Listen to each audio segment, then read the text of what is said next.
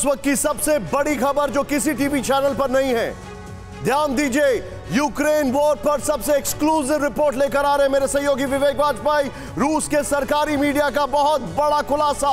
Putin के प्रवक्ता के हवाले से बड़ा खुलासा। पुतिन ने यूक्रेन में ऑपरेशन रोकने का आदेश दिया था। आज पुतिन ने ऑपरेशन तेज करने का आदेश दिया बाद में। यह पूरी खबर क्या है? आपको बताना बहुत ज़रूरी है। विवेक वाजपेयी इस वक्त मेरे सहयोगी, मेरे साथ हैं। विवेक, एक एक एक एक जानकारी हम आपसे लेंगे, लेकिन अभिषेक उपाध्याय ग्राउंड ज़ीरो से और उनके वीडियो जर्नलिस्ट उनके साथ चेतन शर्मा, चेतन जो है, वो मौजूद हैं। आप दोनों ने बहुत ज़बरदस्त रिपोर्टिंग की है। Well done general GD Bakshi और legend of in his own rights आप देखें जरा। और जीडी बख्शी साहब से ज़्यादा बेहतर वॉर के बारे में हमें कौन समझा सकता है इस वक्त? बख्शी साहब thank you very much it's an honour to have you लेकिन सबसे पहले विवेक वाजपेयी, हमारे सहयोगी, पूरी इंफॉर्मेशन दीजिए। क्या क्या जानकारी है?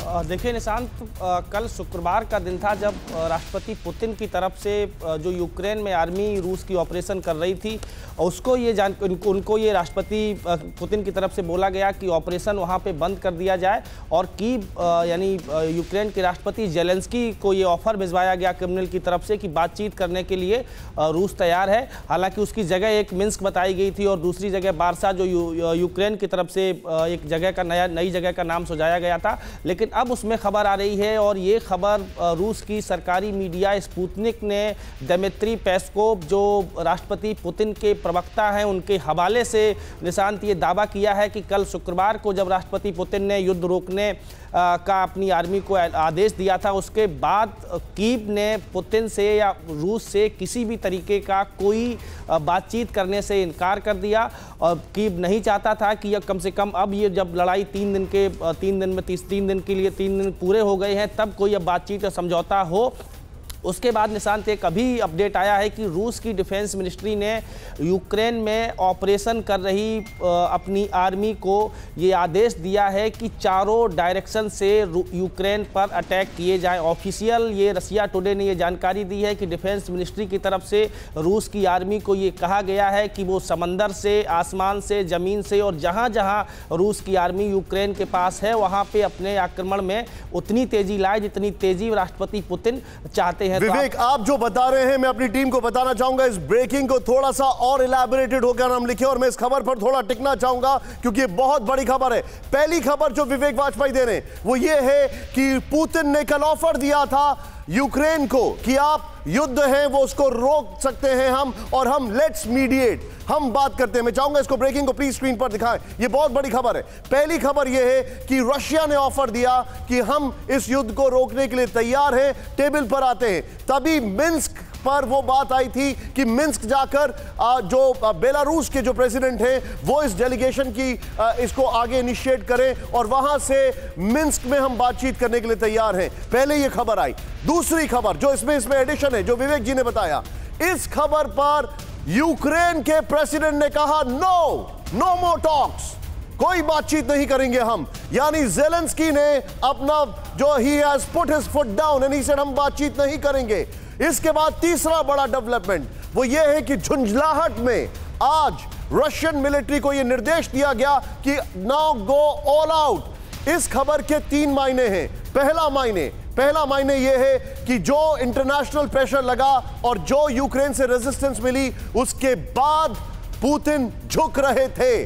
लेकिन वो एक सेफ़ एग्जिट ढूंढ रहे थे कि सबकी बात रखी जाए।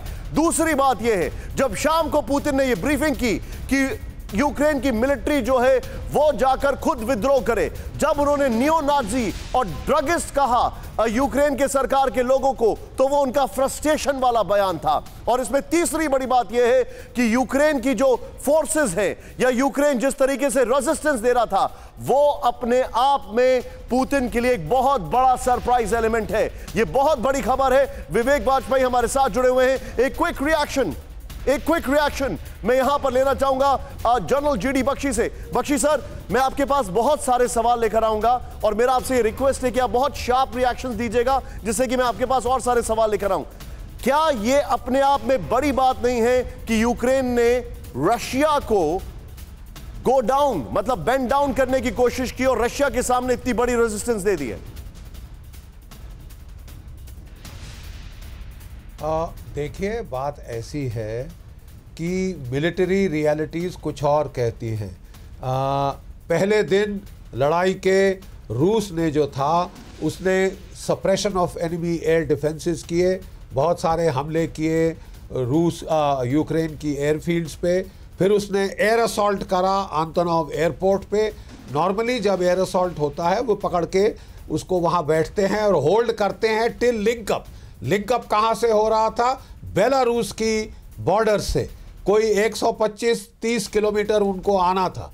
नॉर्मली हमारा अंदाज था कि वो कल शाम तक आ जाएँगे। हमको हैरत हुई जब वो कल शाम को नहीं आए। आज अनाउंस किया गया है कि वो पुतिन जो है, वो मीडिया वॉर से भी थोड़ा घबरा रहे हैं। उनके ऊपर इल्ज़ाम लग रहे हैं कि वो रिहायशी इलाकों पे ताबड़तोड़ हमले कर रहे हैं। उन्होंने कोशिश की कि अगर सीज़ फायर हो जाए, ये रशियन टीवी कह रहा है।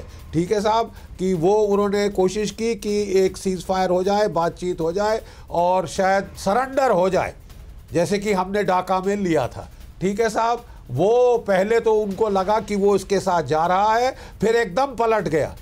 तो अब जो है रूस ने भी दुनिया को जता दिया कि हमने पूरा मौका दिया। और जो सिविलियन जो इतने भाग सकते थे भाग जाएँ।